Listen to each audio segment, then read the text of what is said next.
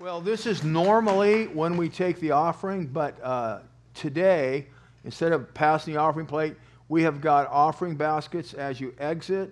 They'll be there waiting for you. You can drop your tithe and offering in the basket when you leave. And of course, those of you at home, um, if you're in the home groups, I think they'll take the offering there. And if you're watching, there'll be some uh, information on the screen about how to give electronically. Um, but anyway, let me, before we get into the message, I have just a few comments to make and then we'll get into the sermon. But we're obviously having church, but we're having in many different locations. And it's a reminder that church isn't a building, of course. It's not even a certain meeting. The church is the living, uh, it, the church is a living body filled with the Spirit of God and held together by faith and love. And I want to tell you, those of you who are meeting in your home groups, uh, give a special thanks to those who are hosting.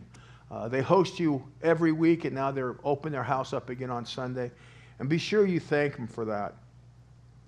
Uh, now, unless you're Rip Van Winkle and you just woke up from a very, very long winter's nap, uh, you know that the coronavirus news has been all over the news. And uh, some people, you talk to people, and some people are saying, well, it's being blown way out of proportion. Other people on the other side are saying it's worse than anybody thinks. And then everybody else is somewhere in the middle.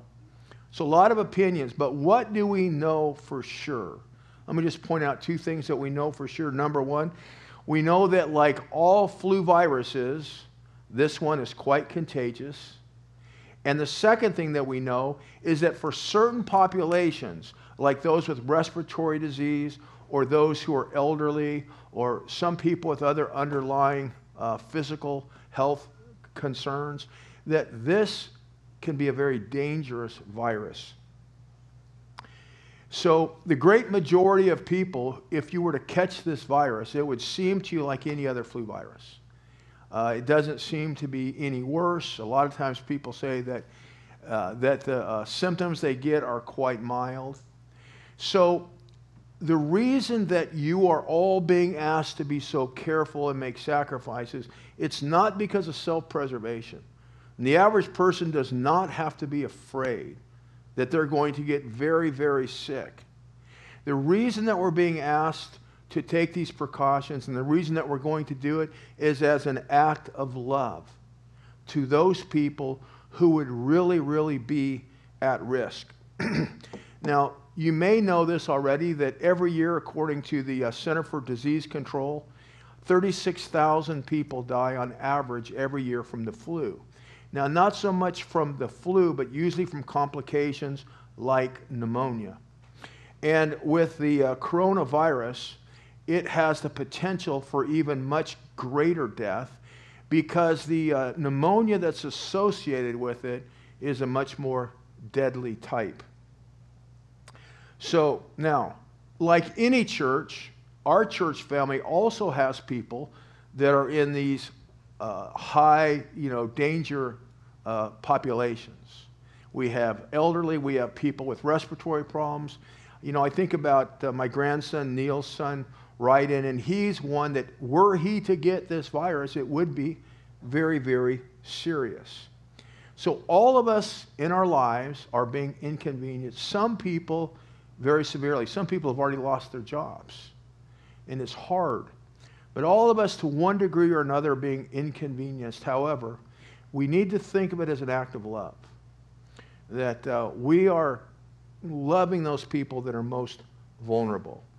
So let's talk a little bit about what should we do as individuals, and probably you're all familiar with this, but basically we should do the same things that we normally do, start up there, during flu season. The first thing is you should wash your hands regularly throughout the day. They say to do it uh, uh, for 20 seconds, and it seems very simple, but simply washing your hands is very, very effective in defeating this device, this uh, virus. You wash, it you wash your hands and it goes down the sink. And you need to remember that viruses can last on hard surfaces like doorknobs or, uh, you know, uh, tabletops or something for hours. So it's important, if you can, to wash your hands. Once again, It's not because you necessarily have really something to fear, not if you're healthy.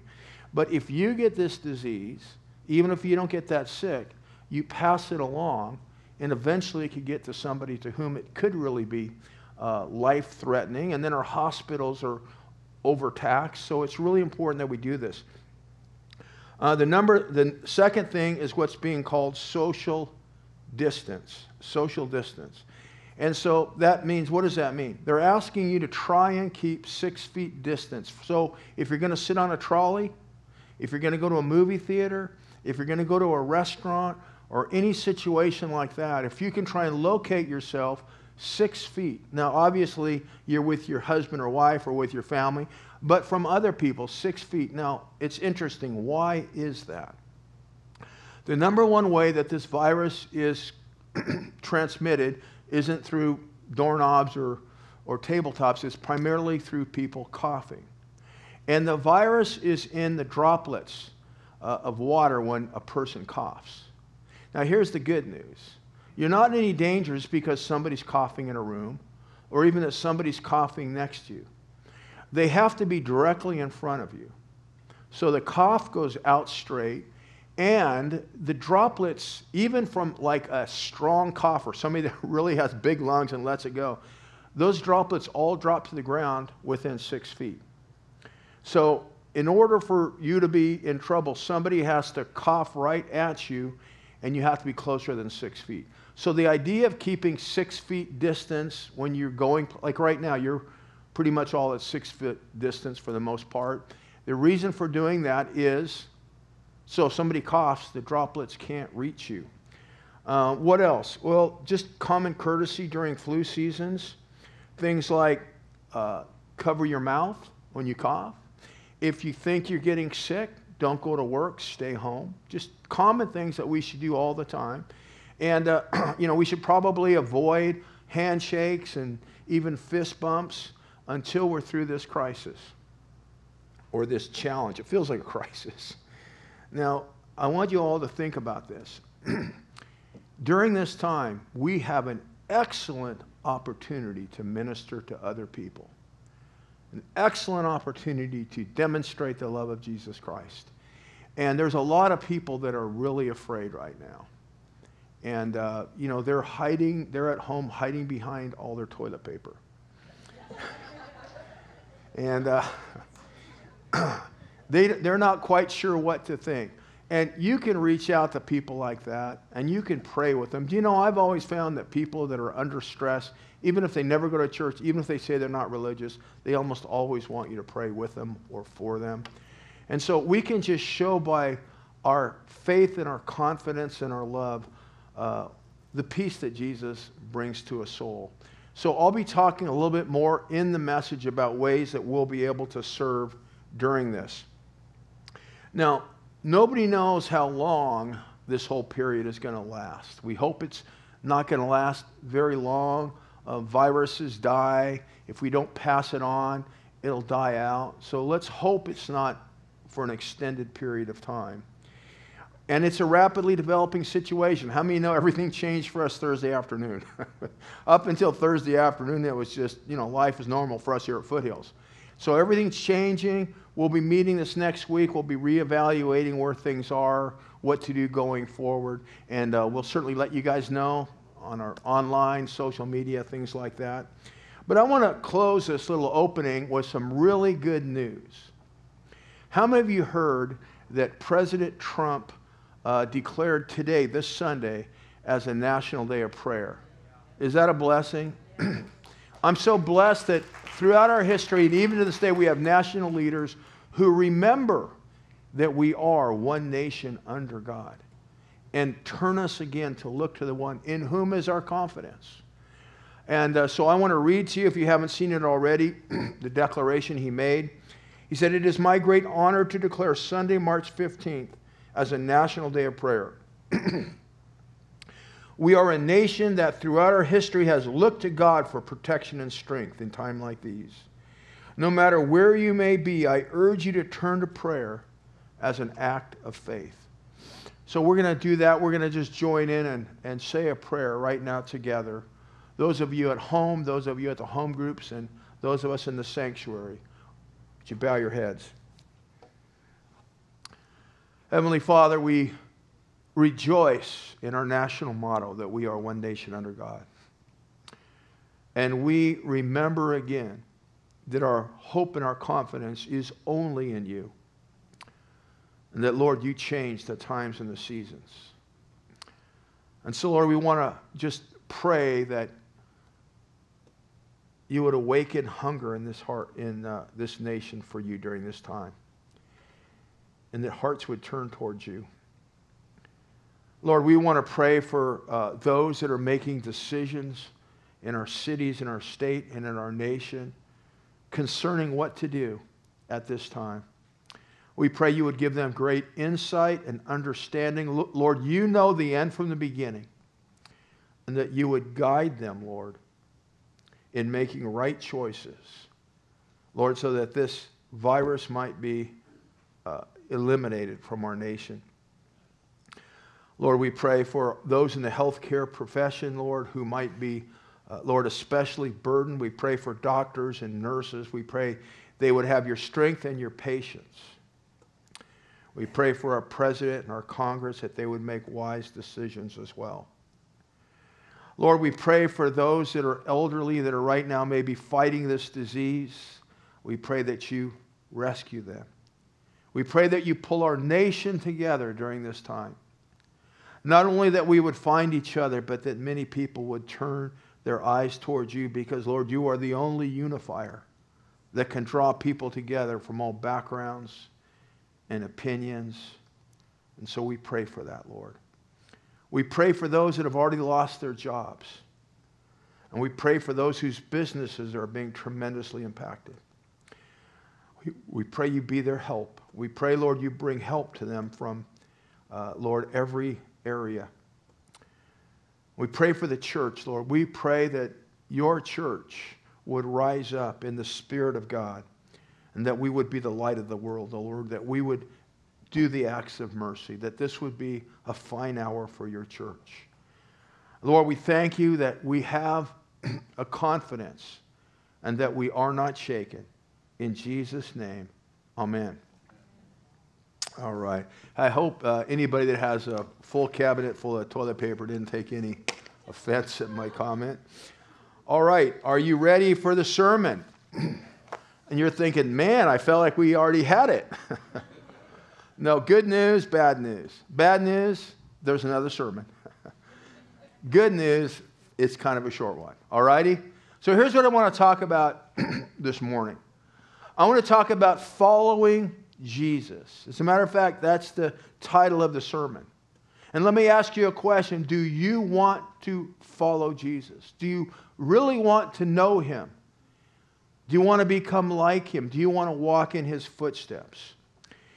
If you do, I've got a verse for us. It's something Jesus said about himself, and it's an important for us to know as we think about following Jesus. Luke 22 27.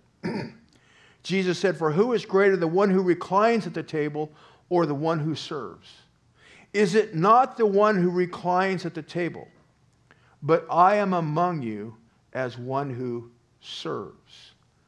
Jesus defined himself by service. His whole life was marked by serving others. He said, I am among you as one who serves. Although he was the Lord of Lords, how many know he was? Although he was the King of glory, how many know he's the King of glory? Yet he expressed that dignity and that power by serving other people. Serving was his life purpose, serving was the motivation to what he did. In speaking of himself, he said this Matthew 20, 28. The Son of Man did not come to be served, but to serve and to give his life a ransom for many. Now, this morning, if you want to be like Jesus, I want you to say this. You can say it silently. But if you want to be like Jesus, I want you to say, I did not come to be served, but to serve. It's a different way of thinking about your life. I am not here to be served, but to serve. now, lots of people want to do what Jesus did. You hear that talk all the time. Be, Do what Jesus did. And a lot of people want to do it if it's something really exciting like healing the sick, casting out demons, raising the dead, preaching to great crowds. But I want to tell you, Jesus said, I am among you as one who serves. And that is something that every one of us can do. How many know every one of us can be like Jesus and we can serve? Now, people aren't that crazy about serving as a rule. I mean, when people get the opportunity to serve in some way, most people's flesh doesn't go, yippee. Most people, the first reaction is to look around to see if someone else will do it. Reminds me of a story. Uh, this man became very, very sick, and as he got sicker, he became very weak until he could hardly leave his bed. So his wife took him to the doctor. and the doctor examined him and did a number of tests, and then called them at their house three or four days later to tell them the test. And the wife answered the phone, and the doctor says, I have those test results, and I've got some good news for you. Although your husband is very, very sick and very, very weak, he can recover. But here's what you need to do you need to wait on him hand and foot. You need to not make him do anything that you could do for him. You need to cook him a very special diet. you need to feed him four times a day. You need to give him a sponge bath. You need to think of yourself as being at his beck and call 24 hours a day. And then the doctor said, Do you understand that if you do these things, he will recover? She said, Yes, I understand. She hung up the phone. The husband called from the other room. What did the doctor say? She said, The doctor said you're going to die. now, that's how most people feel about being called on to serve. When um, my father, in the last year of his life, he declined, he had a series of strokes over a period of five years. And then he went into a pretty serious dementia to the fact that uh, the last two, two and a half years of his life, he was bedridden and he could no longer recognize us. And then he got to the point where he wasn't even responsive in any way. And as I watched my mother care and serve my father over those years, every day, I recognized that I was watching a manifestation of the Spirit of Jesus. That she was being like Jesus and she was being empowered by the Holy Spirit. You see, like Jesus, my mother also defined her whole life as serving other people. And she did it up to her very end. My mother had a very close relationship with the Lord Jesus Christ, and I believe this is one of the big reasons why. The secret to fellowship with Jesus is to, and becoming like him is this to go beyond believing the right things and to go beyond that and to start living the way that he lived, following his footsteps, having his priorities. You've perhaps heard me say this before, and that is that a lot of people are content to settle for being religious rather than to press on and become truly spiritual. It's easy to content yourself with doing religious things rather than becoming spiritual. Now, what do I mean by that? Me put it on the, on the bulletin on the screen. Being religious means this holding certain beliefs and conforming to certain standards of behavior. So there's a set of doctrines you need to believe, and then there's a set of rules that you have to not break. Don't drink, don't chew, don't go out with girls who do. That was an early one. Now, that's being religious, but being spiritual means following Jesus' example empowered by the Holy Spirit until his power and love transform your life. Can you see the difference between simply believing the right things and following the right rules and actually following Jesus, his example, all the while relying on the Holy Spirit? And in that process, the Spirit of God transforms and changes you. Some people don't seem to change much. Have you ever noticed that? And it's real, it's true for Christians. Because you see, I have watched Christians over the years, even over the decades, seemingly go through the same things over and over again. They just have the same problems. They go through the same conflicts. They stumble over the same things. And it reminds me a little bit of that great movie, uh, Groundhog Day. Remember that day? Bill Murray every day woke up and lived the same day over and over and over again until, until he learned his lesson and changed. And on the next morning after that happened, he woke up and it was a brand new day. Now, it's the same thing with us. Our lives will not be transformed until we stop doing it our way and start doing it Jesus' way and walk in his footsteps.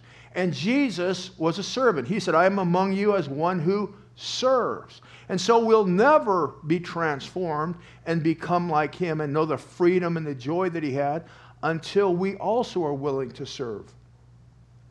You know, there are so many opportunities to serve in life.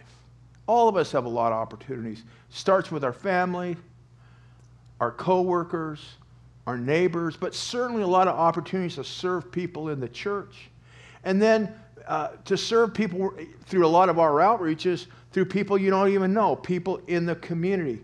And can I say that I am so proud of this church? This church is filled with servants. Any pastor in America would be thrilled to serve this church. Our whole staff counts ourselves so lucky to serve a church that gets it so much about volunteering and helping and serving and reaching out to their neighbors and loving on people. Now, Jesus was the greatest servant that ever lived. He served more people than anyone else. He humbled himself more because he went from the highest high and went all the way down to dying on the most shameless death, which is nailed to the cross like a common criminal. He paid the highest price. Jesus understood the joy and the power of serving. Now, many people put themselves first in whatever they do. How many know that? Many people always put themselves first with the idea being that they're going to make themselves happy. But what they find out is that happiness that way is elusive. It keeps slipping through your fingers. They can't seem to hold on to it. But when you serve people, then you are blessed. And being blessed is much better than being happy because happiness is dependent upon situations that can change. It means everything has to line up right. People have to treat you right. Things are always changing. But blessedness is the favor of God resting on your life and that never changes. No matter what the circumstances, no matter what people are doing, nobody can take the favor off your life. So the, to be blessed is much better than being happy. People who are blessed will generally be happy. So it's better to be blessed. Now I want to talk about, oh, let me say this. The people I know with the most joy all have one thing in common. They've learned about serving and they serve. Now, let's talk about what I believe are the three biggest reasons that we don't serve, the three biggest obstacles to our serving. If you will, the three kind of like excuses we give to ourselves of why we can't serve. I'll give them to you real quick. Number one, we say, I've got my own problems to worry about. How can I think about somebody else's problems when I've got problems? Number two, you ever said this? You ever thought this? They don't deserve my help. They're in the situation they are 100% of because decisions they made. And if we help them, they'll probably just blow it again anyway. And number three, I'm too busy. I have more important things to attend to. Now, I believe these are three great obstacles that keep people from serving. Three things that we tell ourselves. You know, there's a snapshot of Jesus in the New Testament, John 13, where he faced all three of these obstacles. He had all three of these excuses. It's in the story where Jesus washed the disciples' feet. And so I want us to turn there and see how did Jesus deal with these three issues? The first one being, I've got problems of my own. The second one being, they don't deserve it. And the third one being, um, I'm too busy. I've got more important things to do. So let's go there and let's just put yourself in mind of Jesus. Think about that night, what he might have been thinking about, what might have been on his mind. Well, there were three things I know that were on Jesus' mind. Three things he knew that night before he washed the disciples' feet. Here's the first thing that he knew he knew that he was about to die a terrible death. John 13, first half of verse 1 says this Now, before the feast of the Passover, Jesus, knowing that his hour had come and that he was about to depart out of the world. Now, Jesus knew exactly what that meant when it said he was going to depart out of the world, that his hour had come. Here's what he knew he knew within a very short period, that very evening, he would be arrested, he would be falsely charged, he would be beaten, then he'd be taken to Pilate's, where he would be, uh, you know, beaten and whipped, and a crown of thorns would be posted on his head.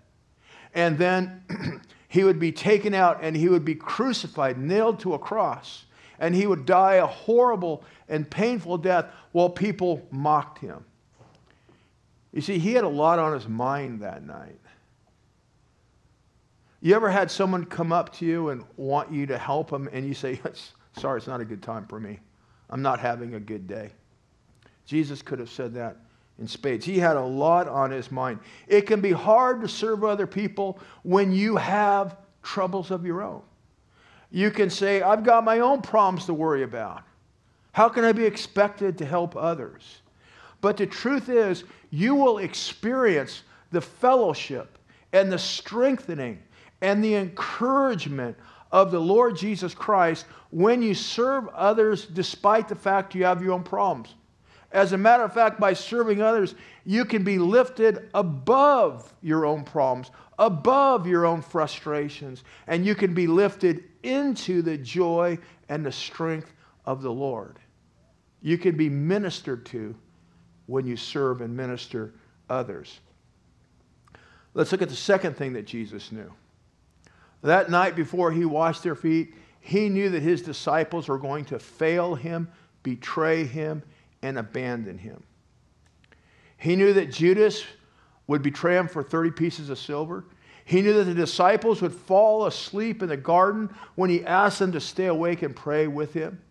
He knew that the disciples were all going to abandon him when the Romans came. He knew that uh, Peter was going to deny him three times. All of that within just the next short period of time. And yet, look, look at what we read in the second half of the first verse having loved his own who are in the world, he loved them to the end. He loved them despite knowing how they were going to treat him in just the next 24 hours. Jesus spent his whole life dealing with people, if you will, who didn't deserve it. People who are going to uh, reject him, people who are going to misrepresent him and slander him and turn on him. And you know what, my friends? We're going to be called to serve those same kind of people. I used to get a little bit bitter when I used to try and help people as a pastor, especially uh, when, I, when I was working with young people a lot. And I would try and help them, and then they would like turn on me. Or they would just like, you know, go overboard and do something stupid. And I'd think, man, you punk. Can't you see what people are trying to do for you? Can't you appreciate everything that's been given you and everything that's been invested in you? Can't you just have a little backbone and do your part? You know, kind of like, but then the more I studied Jesus and I saw that his approach was very different. And that he knew people were going to fail him, but served them anyway. And so then I changed. And when somebody would do that, would, react wrong or turn on me, instead of being bitter, I would think to myself, thank you very much for giving me the opportunity to become conformed to the image of my Savior, Jesus Christ. Can you remember that? The next time somebody doesn't pay you back what they owe you, the next time somebody gossips behind your back that you befriended, the next time somebody stabs you in the back at work, Can you just think? You know, I'm looking at the big picture, and so I'm going to say, Jesus. Can you say this? Jesus, thank you for giving me this opportunity to be conformed to your image. What's the third thing Jesus knew? He knew who he was. He knew the big picture. He knew the whole scene. John 3, verse 3. And Jesus, knowing that the Father had given all things into his hands, and that he had come forth from God and was going back to God, what did Jesus know? He knew that the Father had given him all things and he was going back to God. He'd come from God. He knew he was God's only Son. He knew that all the angels of heaven worshiped him. He knew that all of creation belonged to him. He knew that he had been at the right hand of the Father and he was returning to the right hand of the Father. He knew all that, and yet, in just a few moments, he was going to do a very lowly act of service. Picture Jesus that day, seated there tired after a very hard day of ministry. Everybody wanted a piece of Jesus, hungry, and his mind is occupied with the things that are going to happen in the next 24 hours. His mind is full. And then it happened. He noticed that no one had washed the disciples' feet. And this was traditional because walking on those dirty streets where all the animals had been going up and down, it was filthy, and so it was traditional to wash someone's feet when they came to eat. And so maybe he sat there for a minute and watched, hoping that one of the disciples, one of the people that he had spent three years with training, would get up and wash their brother's feet. But no one moved. You see, maybe they thought it was beneath them. Maybe that, that's someone else's job, that's a servant's job my job is much more, the things I do are more important. I preach to crowds. I get sent out on missions by Jesus. I pray for the sick and they recover. Now, they all thought it was maybe something somebody else should do. But you see, Jesus was different. It's easy to think that we are too busy to help, that, that we're called to do more important things. But what do we read about Jesus? Verse 4 and 5. But Jesus got up from supper and laid aside his garments, and taking a towel, he took off his garments because it was going to be a very dirty job. And he washed, he poured water in a basin, he began to wash the disciples' feet and to wipe them with the towel with which he was girded. Now, he got up, he washed their feet. This was more than a kind act. It wasn't an act at all. It wasn't just something he did to illustrate a point, it was an expression of who he was. But more than just being an expression of who he was, it was an expression of whom we could be, an expression of who we should be. We go forward a few verses to verse 12. So when he had washed their feet, he put his garments back on and sat back at the table. He said to them, Do you know what I have done for you? You call me teacher and Lord. And you are right, for so I am. If I, then, the Lord and the teacher, washed your feet, you ought to also wash one another's feet. For I gave you an example that you should do as I did. You see, our calling is to be like Jesus. And Jesus washed their feet, he served them. He said, You call me teacher and Lord. If Jesus is our teacher and Lord, then we have to be willing to follow him and do what he said and serve other people. Uh, Jesus said something very important in John 10 10. How many of you guys want the good life? How many of you guys would like a better life than what you have now? How many of you would like the life that God could give you? Jesus said he came for that very reason. John 10 10, he says, The thief only comes to steal and kill and destroy. That's the devil. But I came so that they might have life, and they might have it in all its abundance. In all its abundance. He said, The reason I came is so that people could have the abundant life, the life of abundance. Now, Jesus didn't just come to die on a cross. He came that we should have the abundant life, but he didn't just come to die on a cross. He also came to teach us, and he came to be our example that we should follow.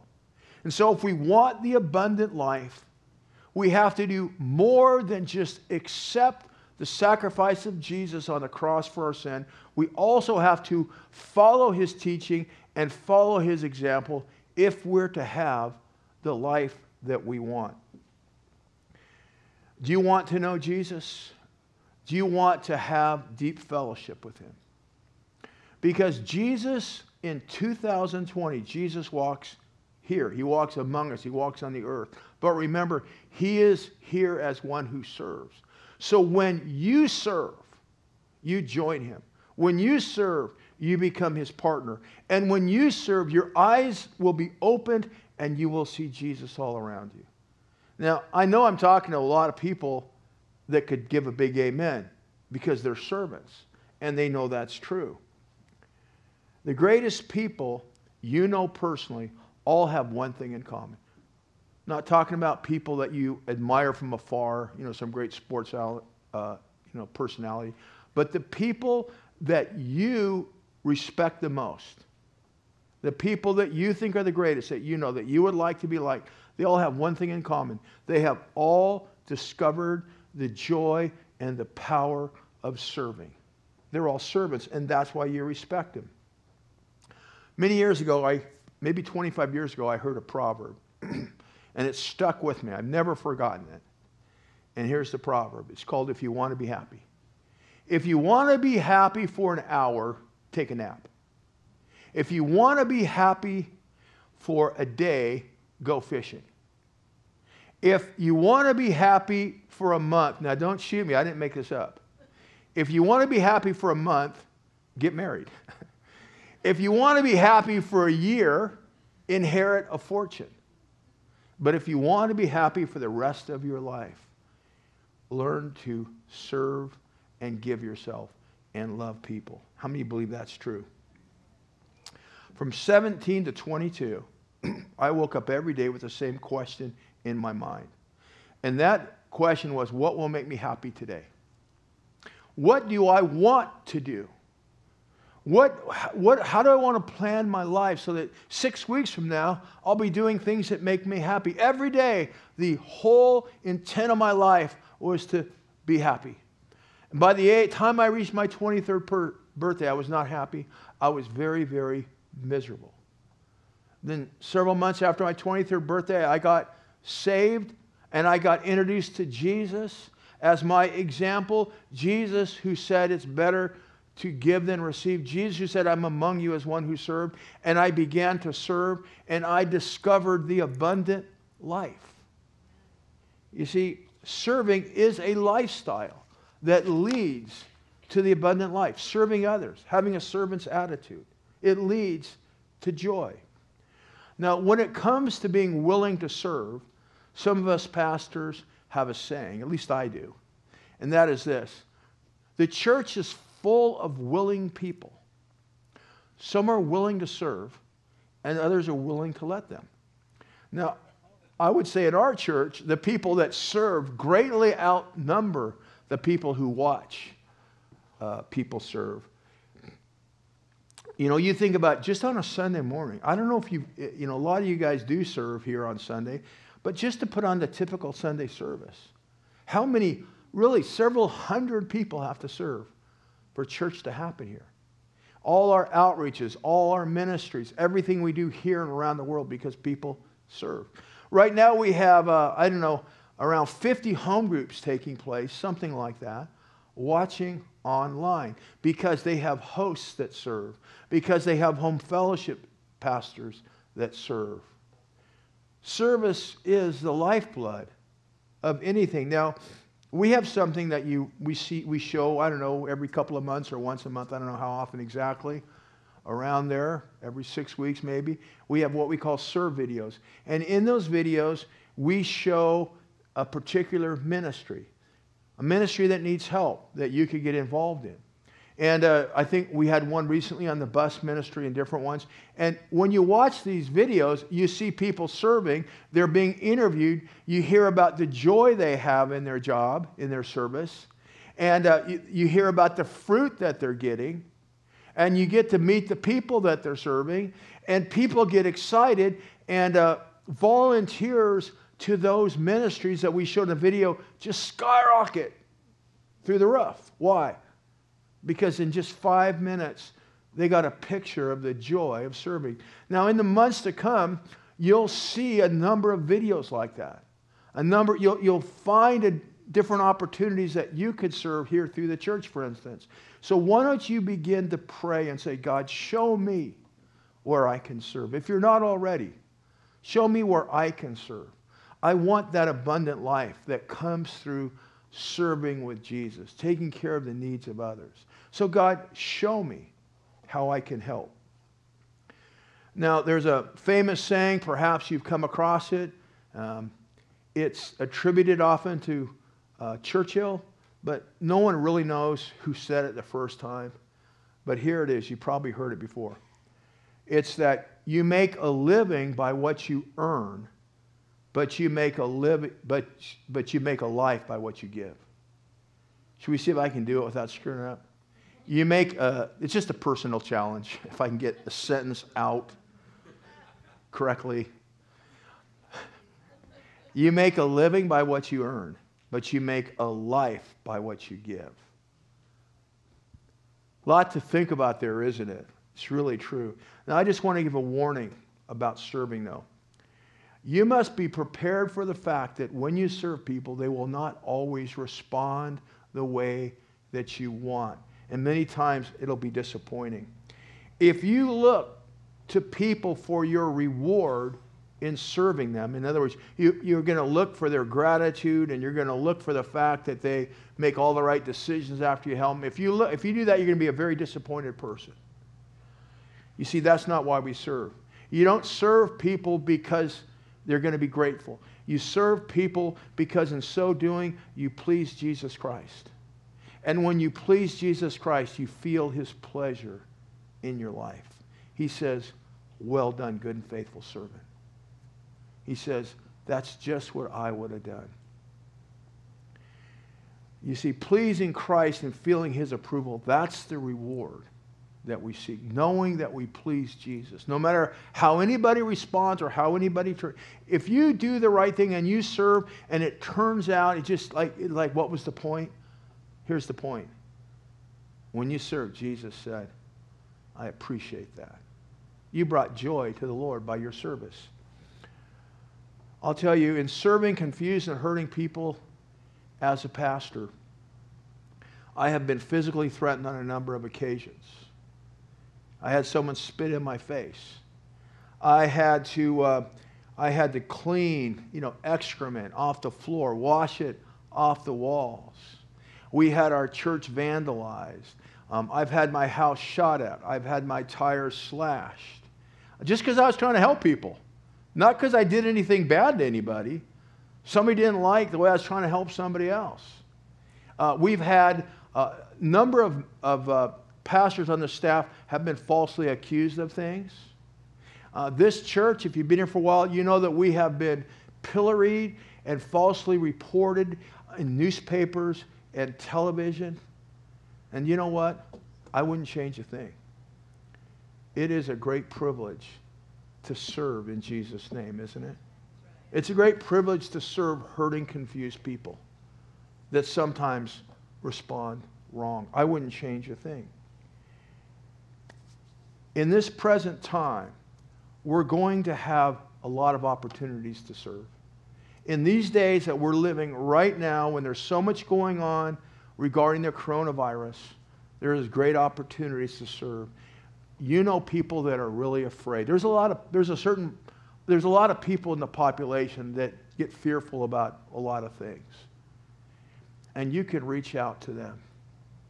And you can touch them with your love and you can say, Can I pray for you? Here's what I've learned I've learned that people, even people that never go to church and haven't been to church in decades, when they're under stress, they want you to pray for them.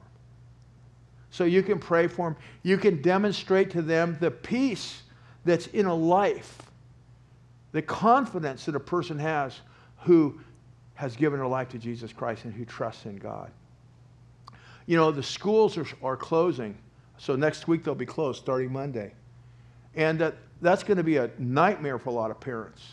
So there's maybe parents that you could help. Maybe you could offer some childcare.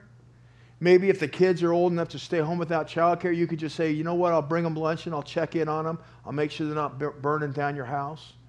There's a lot of different ways you can serve families right now when everything is being changed. I mean, people can't stay home from work. What are they going to do? Well, ask the Lord, He'll show you. Uh, there's a lot of um, people that are going to be out of work. Some already are laid off. More will happen. I mean, stuff is being shut down, the hotel industry, the, you know, there's at least going to be a period of time. So maybe there's people you can help, you can bring a meal to. Uh, maybe there's some people you could, are going to be able to help in practical ways. Businesses are going to be hurting. There's going to be great opportunities for us to show the confidence we have even in difficult times, to show the love in our heart that even if we're being stressed, we still have extra to share and give to others. If there's anything big that comes up, you know, in the future that we need to do as a church, we'll let you know. I know you guys will be the first ones there to step up and, and help in a crisis. But you're going to have neighbors, you're going to have friends, you're going to have people that you can serve.